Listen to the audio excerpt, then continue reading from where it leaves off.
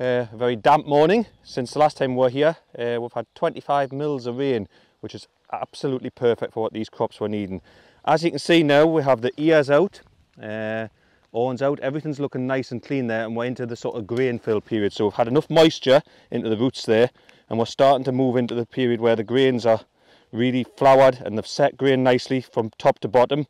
I'm counting on most spring barleys I'm seeing everywhere, counting sort of uh, 24 to 26 grain sites, all very well flowered and starting to fill there. You can see now as I squirt that, they're, they're coming into, they're starting to fill. And what they require now is sunshine. We've got the green leaf area, we've got the plant population, and we've got the, we're just looking for sunshine. They're nice clean leaves as well, which is good, so they can absorb all that sunlight when we get it, which we're forecast for next week. What we're seeing now in the trials is we're seeing um, a lot of differences in maturity. You've seen just, we monitored the way they come out into on and then the speed of the ear emergence after that.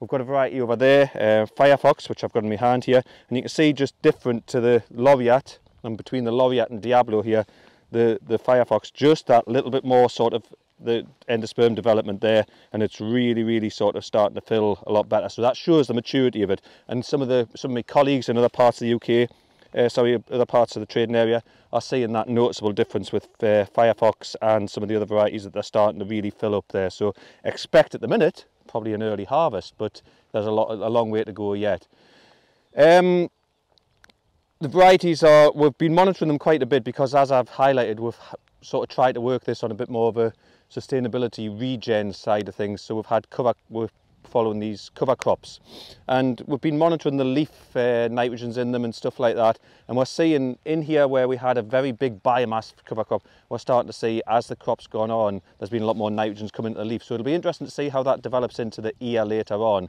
We'll do grain samples when we come to harvest them, obviously, to see, see how that's worked.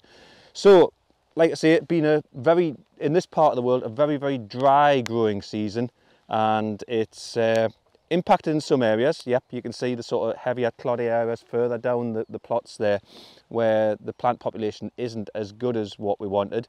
But now that we've got the rain, like I say, we've had the rain into the roots and we're into the grain fill period, hopefully we'll end up with some sensible yields on these spring barleys this year. Um, next time we're down, we'll come down in a couple of weeks' time, we'll come down with Paul and Laura and we'll maybe have a bit more in, in-depth look at the actual specific varieties because like I say I'm between Laureate and Diablo here which are two main distilling varieties and but we've got a lot of candidate varieties and newer varieties are coming into the into the fray as well. So well maybe next time we're down as we see the crops mature a bit more we'll have a little bit more look at the varieties